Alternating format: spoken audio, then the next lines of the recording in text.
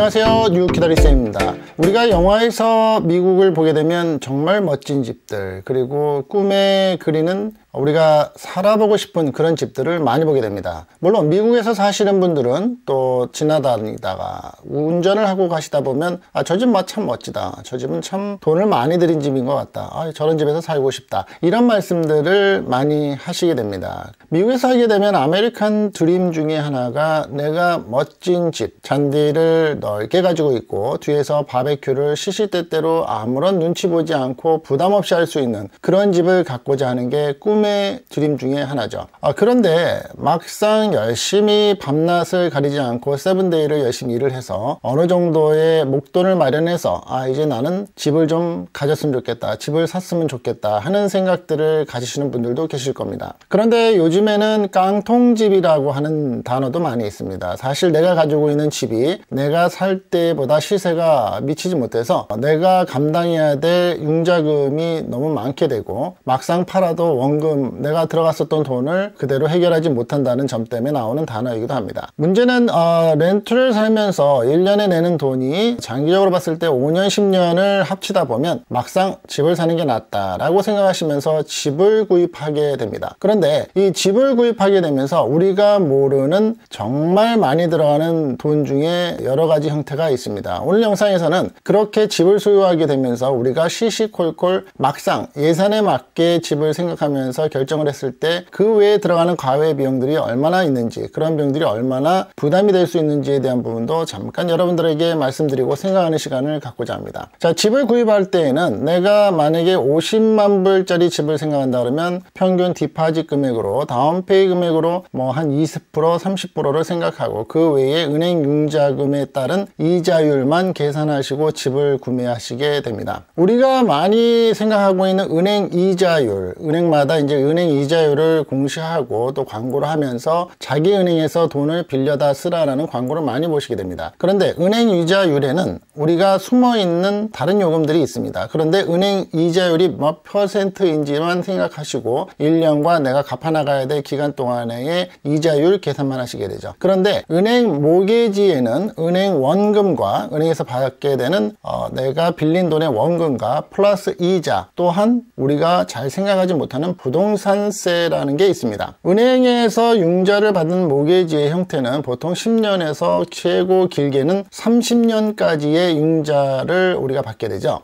우리가 집을 구입할 때에는 막상 아, 이 집이 location이 좋은지 또 수리할 내용들이 많지 않은지 그리고 집의 구조가 방이 몇 개인지 그리고 지하실이 finish가 되어 있는지 이런 형태만을 보시면서 아, 마음에 들면 약간은 내가 부담감이 좀 더 돼서 내 예산보다는 초과가 하더라도 집을 구입하려는 의사를 가지시게 됩니다. 그런데 아까 말씀드린 것처럼 은행 이자율, 모계지에는 은행 이자와 원금 플러스 부동산세라는 게 있습니다. 이 부동산세는 주마다 그리고 주 내의 카운티마다에 적용되는 이자율이 틀립니다. 그런데 뉴욕과 뉴저지는 평균 2.0% 그러니까 2%를 넘나드는 곳이 많습니다. 물론 뭐 메릴랜드라든지 버지니아 같은 경우는 1% 내외에서 어, 형성이 되고 있지만 만약에 뉴욕, 뉴저지, 미국 동부 쪽에서 2%를 계산한다면 50만 불에 대한 2%를 계산했을 때 만 불에 대한 부분을 부동산세로 내야지만 됩니다. 물론 이 부동산세는 one time으로 1회만 내는 것이긴 하지만 사실 이 부분도 놓치지 말아야 될 부분 중에 하나죠. 자 그렇다면 부동산세만 생각을 해서 은행 이자율과 은행 원금 플러스 부동산세에 대한 부분만 생각했으면 다일까요? 그렇지 않죠. 예, 여기에서 집에 들어가는 비용은 또 발생을 하게 됩니다. 집을 소유하게 되면 바깥으로는 outdoor, outside 쪽에서는 취사를 하기 위한 가스비,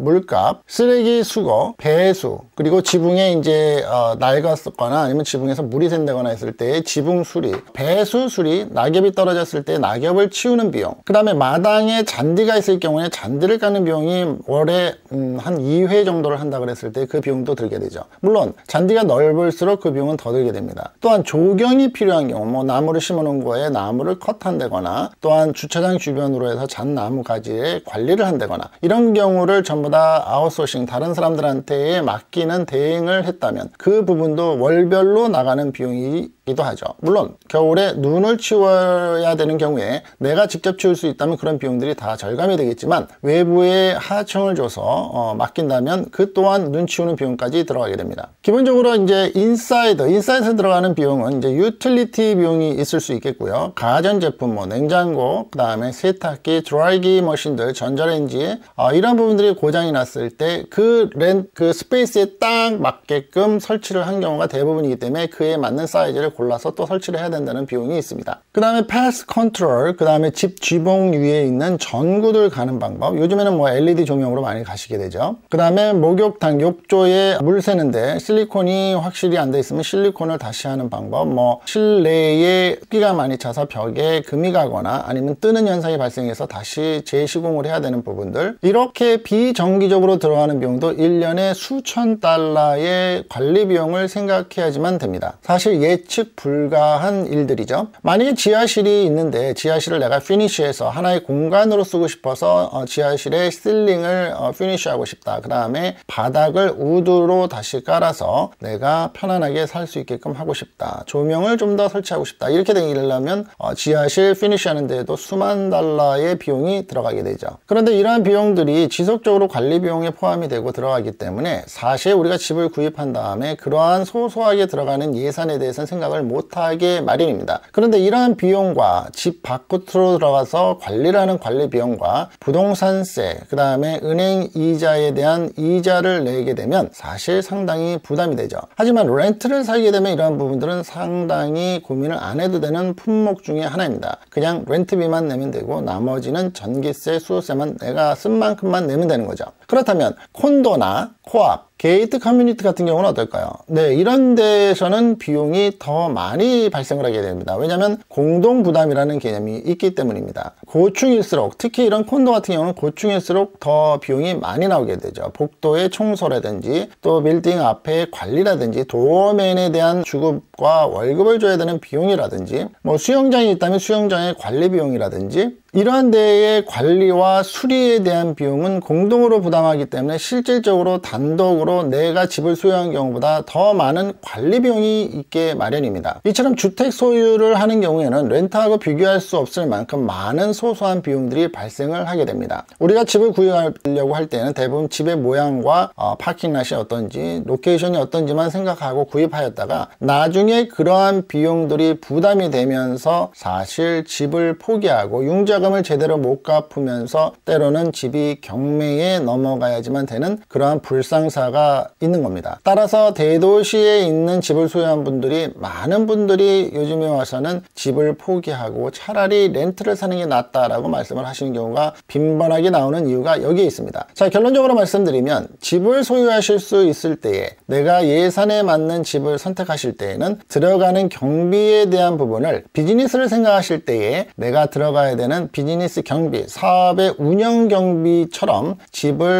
운영하시면서 집을 소유하시면서 들어가야 되는 집의 운영 경비도 꼭 생각하시고 그 부분이 monthly, yearly 계산을 하시고 또 그 yearly에 대한 부분이 수년간, 수십 년간 될 때에 내가 이 부가가치와 이 감가상가에 대한 부분이 어느 정도의 안정권에 들 수 있는지를 판단하셔서 내 예산에 맞는 집을 선택하는 게 굉장히 중요하다고 생각합니다. 자, 결론적으로 말씀드리겠습니다. 집을 소유하시게 되면 행복감과 안정감, 내가 렌트를 살아면서 매달 나가야지는 렌트비에 대한 고정적인 부담감, 심리적으로 어, 줄수 있을지는 모르겠습니다. 하지만 소소하게 들어가는 관리 비용 때문에 결국에 나중에 가서는 그조차 스트레스가 될 수 있다는 점. 따라서 집을 구입하실 때에도 내가 가지고 있는 예산보다는 조금 한 단계 낮추시거나 두 단계를 낮추셔서 구입을 하신다면 그만큼 부담감이 덜 하실 수 있겠죠. 자, 우리가 집을 소유하셨을 때 생각지 못 하는 부동산세 관리 비용, 집 밖의 유지 비용 꼭 한번 체크하시고 앞으로 내가 집을 구입하는 데에 계획을 세우고 계시는 분들은 염두에 두시기를 바라겠습니다. 자, 오늘 영상 어떠셨습니까? 좋으셨으면 이쪽 아래에 있는 구독 버튼과 이쪽 아래에 있는 좋아요 버튼 꼭 부탁드리고요. 끝까지 시청해 주셔서 감사합니다. 다음 영상에서는 또 다른 모습으로 찾아뵙겠습니다. 뉴욕 키다리쌤이었습니다.